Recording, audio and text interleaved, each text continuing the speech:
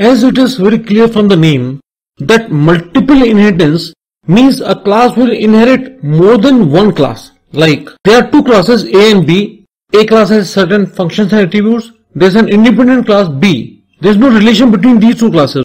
B class doesn't inherit the A class, right? Now when the C class will inherit these two classes, the object of C class can access the functions and attributes of A class as well as the functions and attributes of B class. And it is not essential that the C class can inherit only two classes.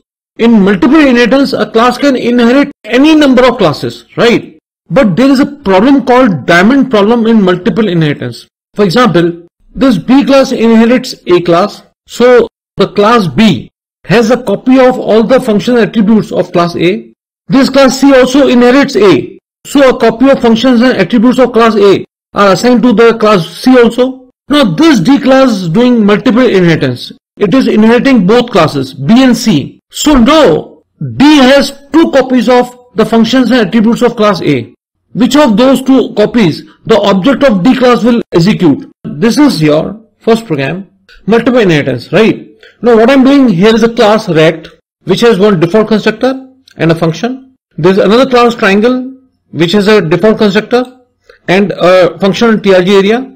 Now this is a class average which inherits both the classes rect and triangle. So obviously what will happen that the object of this average class can access the functions and attributes of this rect class, this functions and attributes of this triangle class and obviously it can access the attributes and functions of its own class. So through the object of average class you can compute area of rectangle, area of triangle as well as the average of three values. Here I am using the default values. Okay, now let's see how. This is the object R of average class, right? How many arguments are here? Nothing. So obviously the Python compiler will look for a default constructor in the average class. I hope that you know the concept about default constructor and parameterized constructor. If you haven't seen my earlier lecture which was based on classes and default and parameterized constructor, I am providing you the link in the description box about the whole playlist of the videos. Then it will become very easy for you to understand the concept of this lecture, right? So the compiler will jump to the default constructor of the average class. This is the default constructor.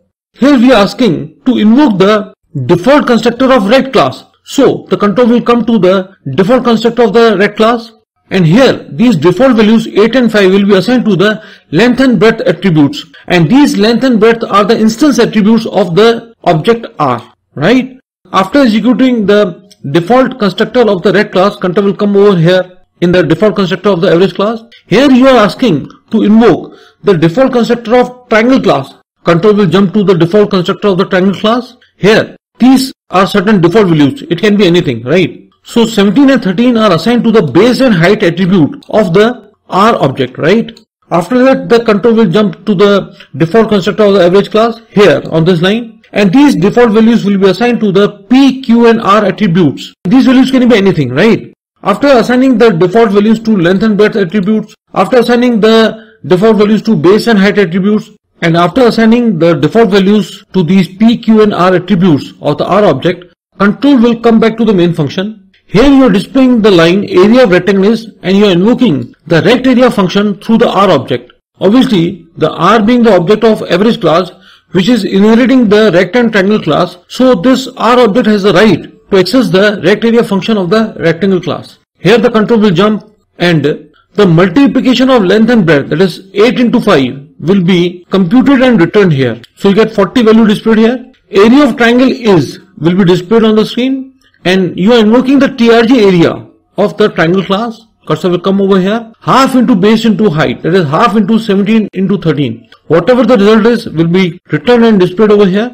Then after the avg value method is invoked to compute the average of three values p plus q plus r divided by 3 and the result will be returned and displayed here. So let us copy this multiple inheritance program and paste it in the Spyder IDE I'm running it. See, area of rectangle is 40, area of triangle is 110. This 40 has come because of this 8 into 5.